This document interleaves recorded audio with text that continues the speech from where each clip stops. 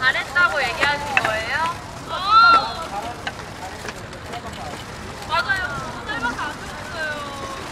진짜. 나 너무 예쁘게 나오는 것 같아요. 어!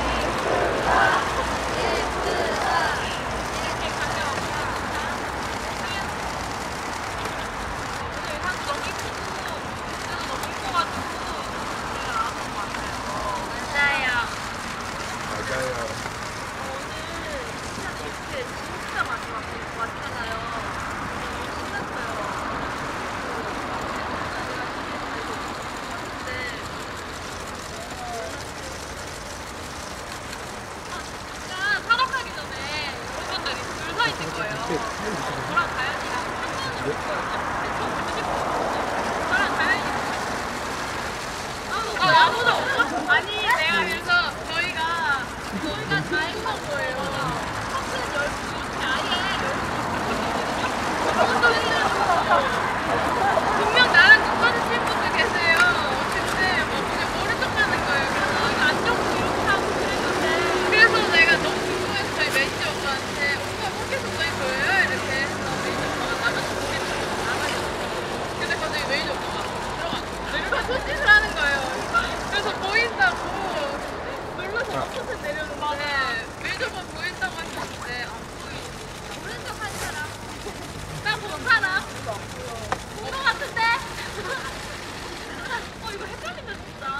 아.